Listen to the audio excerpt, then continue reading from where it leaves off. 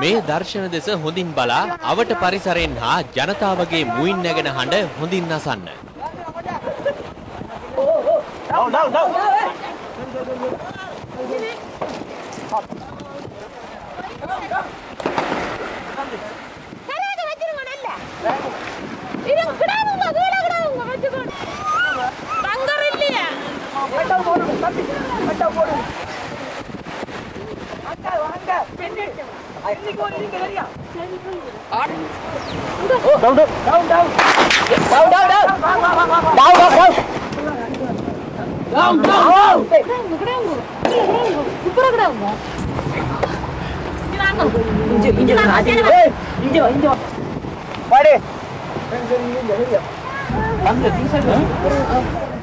මුලතිව් වඩ්ඩුවකල් සපත්තු පාලමට බටහිර දෙසින් මේ ජනතාව පැමිණියේ විශේෂ ක්‍රියාන්විතයක් සඳහා කලපුවේ දෙපස යා කරන ලද කඹයක් ආධාරයෙන්.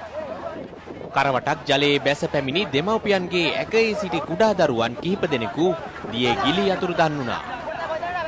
ඇතැම් මව්වරු පියවරු ත්‍රස්තවාදී වෙඩි ප්‍රහාර හමුවේ පණ බේරා ගැනීමට දිව එද්දී සිය දරුවන් ආගිය මගක් සොයා ගැනීමටවත් ඔවුන්ට හැකියාවක් ලැබුණේ නැහැ.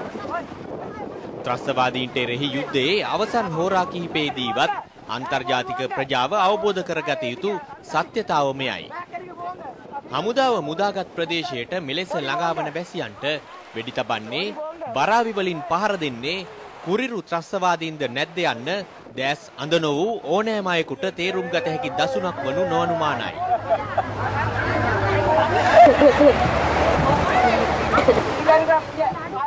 ඔවුන් දියේ ගිලීමෙන් බේරා ගන්නට වෙඩි ප්‍රහාරයකට ලක්වීමෙන් වළකා ගන්නට මේ යත්න දරන්නේ මේ ජනතාව කිසිදා දැක නැති ශ්‍රී ලංකා යුද හමුදාව බව මේ දිනවල සාමාන්‍ය ජනතාව වෙනුවෙන් කෑමොර දෙන අන්තර්ජාතික සංවිධාන හා රටවල් දැන්වත් තේරුම් ගත යුත්තක්. මෙච්චර වෙලා ඉඳලා කැඳ බීලා.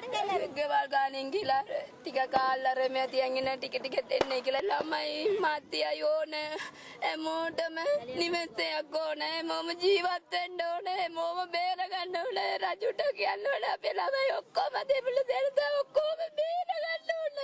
මගේ ජීවිත නැති වුණත් කමන්නේ. අපේ ළමයි බලන්න බෑ. කකුල නැතුවයි දැන් දැකලා දැකලා ජීවිතේ එපා වෙලා මගේ ජීවිත විතර බේරුණාට මේ කියන්නේ මොගේ ජීවිතේම බේරන්න ඕන ළමයෙක් ඉන්න බෑ ගෙවල් ගන්නෙන් ඔක්කොම අල්ලනවා අපේ ළමයි අන්තර්ජාතික ප්‍රජාව දැන්වත් අවබෝධ කරගත යුතු නියම යථාර්ථය මෙයයි. සාමාන්‍ය ජනතාව පීඩාවට පත් කරන්නේ ත්‍රස්තවාදීන්ද නොයසේ නම් යුද හමුදාවද යන්න දැන් ඉතාමත්ම පැහැදිලි වන කරුණක්. තුවාල ලැබූ වැසියන්ට මෙලෙස ප්‍රතිකාර කොට ගුවන් මගින් අනුරාධපුර මහරෝහල වෙත පිටත් කර යැවීමටත් යුද හමුදාව පියවර ගත්තා.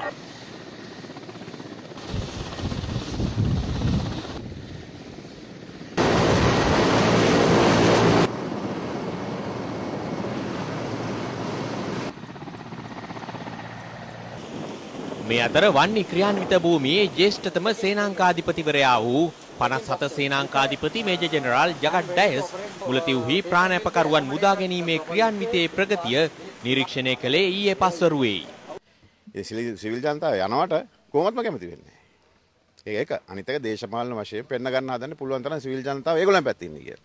නමුත් දැන් මේ එන මේ ප්‍රවණතාවය දැක්කහම ඕන බුද්ධිමත් ඕන කුඩා දරුවෙක්ට හරි තේරෙනවා සිවිල් ජනතාවට දැන් LTT එකෙන් වැඩක් නැහැ. LTT එකේ තිබිද විශ්වාසයක් හරි යම් කිසි දෙයක් තිබ්බනම් ඒ ඔක්කොම දැන් අවසానයි. LTT එකක් ඉතුරු වෙලා නැහැ. හිර කරගෙන ඉන්න අවස්ථාවේ මුදවගෙන අපේ ප්‍රදේශයට ගෙන්න ගන්න. ඒක තමයි ප්‍රධානම අරමුණ. එතකොට අනිවාර්යයෙන්ම අපිට ඉතුරු වෙලා ඉන්න ප්‍රභාකරන් සහ ඔහුගේ සගයෝ ටික ඔක්කොම විනාශ කරන්න පුළුවන්.